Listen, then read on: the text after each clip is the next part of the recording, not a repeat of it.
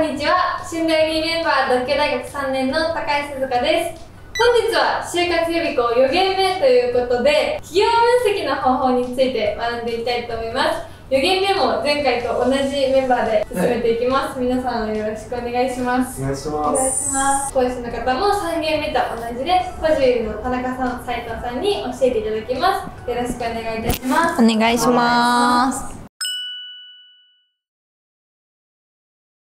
早速なんですけど企業分析はなぜしなきゃいけないのか企業分析の目的というところを教えていただきたいです。はいまさに最後決めに行くポイントなのかなとは思っていてこれまでまあ自己分析やったりとか業界研究したりとかってしていたと思うんですけど最終的にはどこかの企業に入るっていうところだと思うので、まあ、自分がこう本当に入りたい企業なのかとか最後どこで決断するのかみたいなところも含めてすごい大事になってくるところなのかなとは思います。じゃあ早速企業分析のやり方について教えていただきたいです。これもいろいろあるかなと思うんですけどまずその企業について何を知りたいのかっていうところによるかなって思ってます。今いろんなサイトとかいろんな情報はこの情報化社会なので出回ってるかなとは思うんですけどそれをこうどうやって取りに行くかっていうところかなと思ってます。でまずそもそもその企業どんな企業ど何やってる会社とか何人ぐらいの会社なのとかどこにあんのみたいな話を聞きに行くのであれば、まあ、まず普通に企業のサイトホームページに行くとかそこからスタートなのかなとは思います。でどんな事業やってるのかとかどれぐらいの人が働いてるのかとかどこにこう勤務地があるのかとかそういった基本情報を集めに行くっていうのが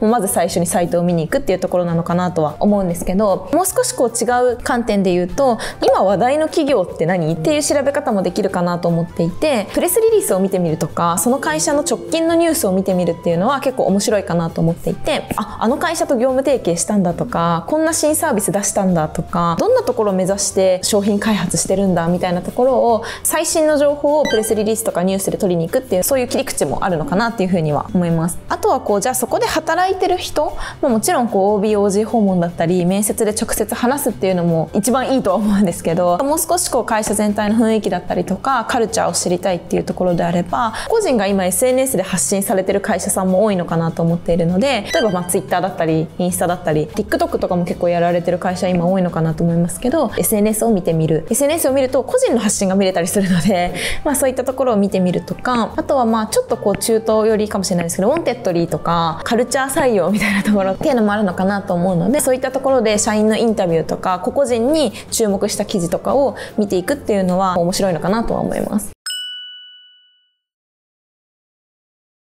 結局志望動機で会社のどういうところに目をつけてくれたら嬉しいのかなっていうその受かるための企業分析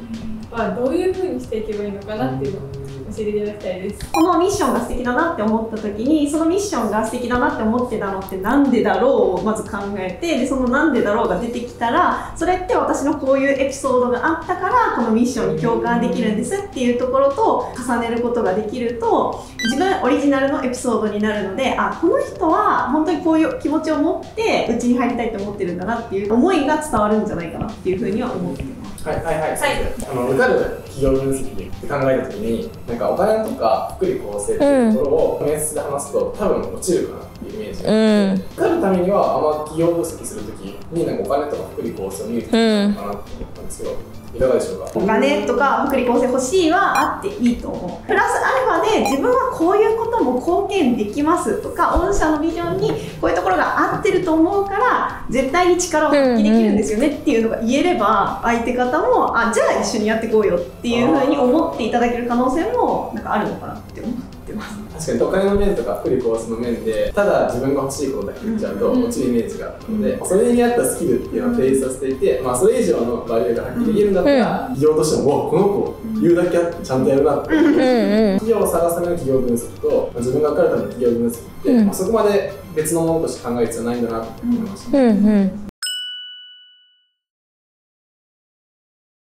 福利厚生も例えば結婚出産しても長く安定して働きたいっていう軸を持っていたとして自分の人生を大事にしながら働きたいっていう軸があるのであればそういうことを大事にしてる会社って絶対にあると思ってそこってなんか私の人生と合ってますよねっていう話し方ができればいいのかなとも思う。はい、はい、私がまさに子育てもちゃんとして、うん、彼女の時間も取りたいし、かつ仕事もしたいっていうタイプなんですけど、そういう会社ってどうやって見つけていったらいいですか？でも大体押し出したいよね多分そういう会社って。から多分めっちゃ言ってると思います。あこういうワーママがいるよとか。あーなるほど。えどういう検索ワード？女性活躍の中で押し出したいのが違うので、どうやって企業を絞っていけばいいのか